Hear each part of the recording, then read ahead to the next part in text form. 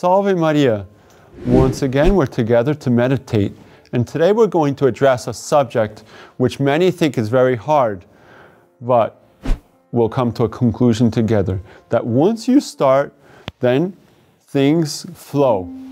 Let us pray to start the seventh day of our novena with the prayer. In the name of the Father, and of the Son, and of the Holy Spirit. Amen. Come, Holy Spirit, fill the hearts of thy faithful, and kindle in them the fire of thy love. Send forth thy Spirit, and they shall be created, and thou shalt renew the face of the earth. Let us pray. O God, who hast instructed the hearts of the faithful by the light of the Holy Spirit, grant that by the same Spirit we may be always truly wise and ever rejoice in His consolation through Christ our Lord. Amen.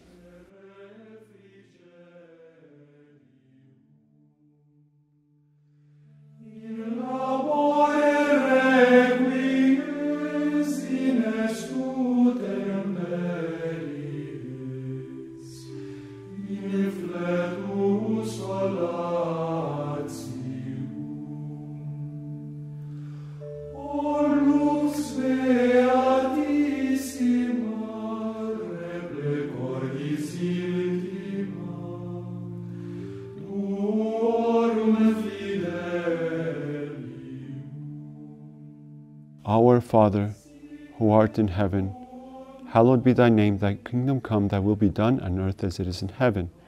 Give us this day our daily bread, and forgive us our trespasses, as we forgive those who trespass against us. And lead us not into temptation, but deliver us from evil. Amen. Hail Mary, full of grace, the Lord is with thee. Blessed art thou amongst women, and blessed is the fruit of thy womb, Jesus. Holy Mary, Mother of God, Pray for us sinners, now and at the hour of our death. Amen. Glory be to the Father, and to the Son, and to the Holy Spirit, as it was in the beginning, is now, and shall be, world without end. Amen. We have just prayed, grant that by the same Spirit we may be always truly wise. But after all, what does it mean to be truly wise? When we find that even those who try sincerely to, to have faith, to live their faith, get carried away by seductions of the world and justify their actions by claiming that it is difficult to keep the commandments and walk righteously.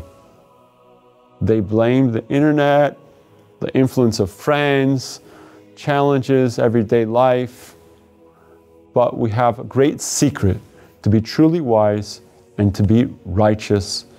We must appreciate the things and the perspective of God.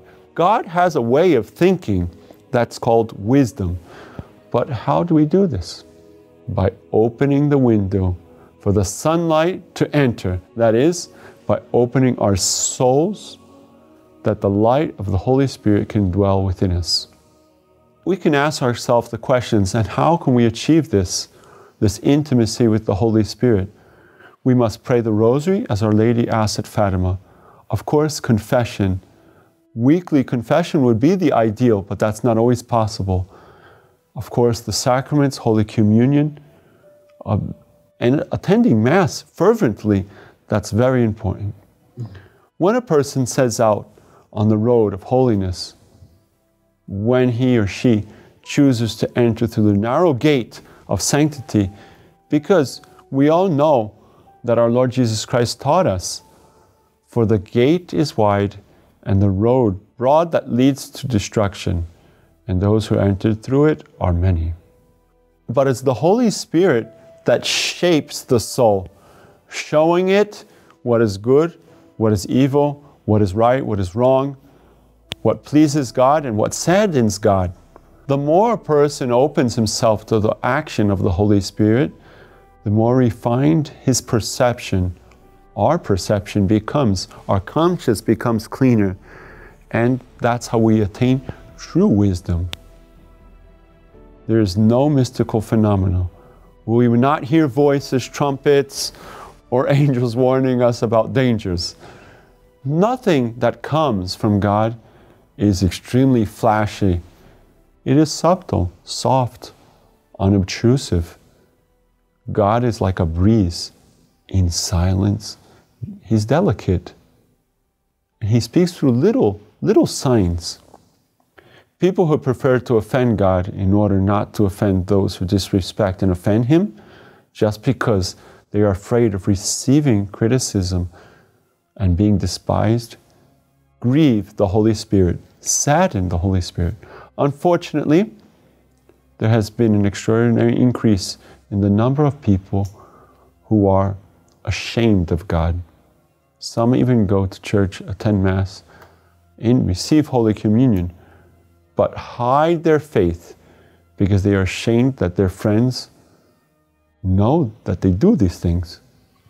With this attitude, they end up no longer going to church. They even there abandon their religion and they are short stepped from destruction. Whoever is ashamed of me and of my words, the Son of Man, will be ashamed of him when he comes in his glory and in the glory of the Father and of the holy angels. That's from Luke. Therefore, even living with so many difficult situations, what do we have to do? Seeing the increase of violence and even witnessing injustice and religious persecution, seeing the word plunged into licentiousness and sin, unable to resist the onslaughts of the Prince of Darkness, we must not be discouraged, never disheartened, please. It is up to us Catholics to watch and pray, and it is in this action of the Holy Spirit over our souls that we will be able to resist, to resist and to continue on God's road, on the God's path. We must never be afraid to be different and to live our faith openly. We must be a home for the Holy Spirit. But if by doing so we end up having little friendship or few friends, but our best friend is the one who is the Father and the Son and the Holy Spirit. Let us pray. In the name of the Father, and of the Son, and of the Holy Spirit. Amen.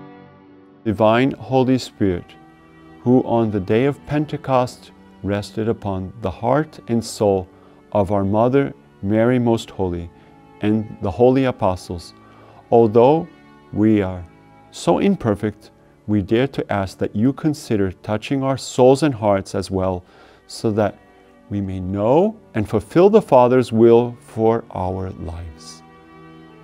Fill us with the light of your love, so that we may continue walking the path of holiness, free us from the slavery of sin, and deliver us from evil. And may the blessing of Almighty God, the Father, the Son, and the Holy Spirit come upon you and remain with you forever. Salve Maria, and we'll see you tomorrow.